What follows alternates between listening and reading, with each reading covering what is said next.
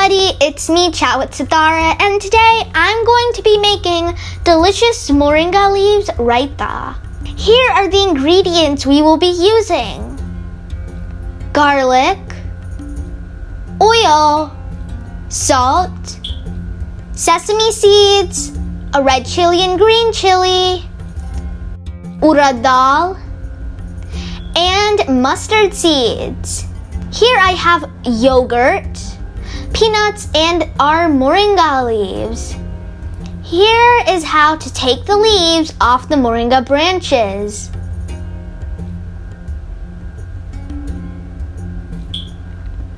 And now I'm putting them all into a pan.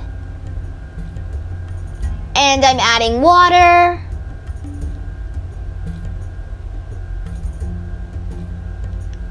And now I'm mixing. If you boil them too much, they'll become tasteless. Now in another pan, I'm adding garlic, red chili, peanuts, our sesame seeds, and mix. And I'm going to blend it all.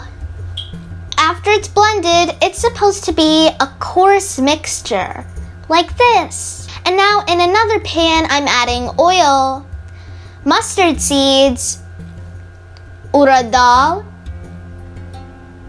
our green chili, and stir. And now I'm adding in our moringa leaves. Mix.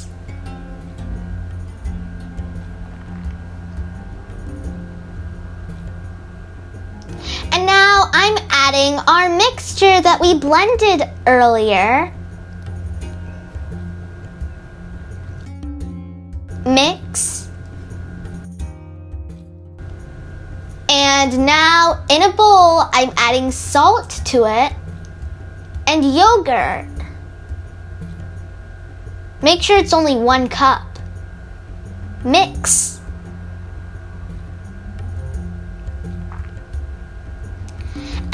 That is your delicious moringa raita. Moringa is very beneficial to the body, and it's also called the miracle plant.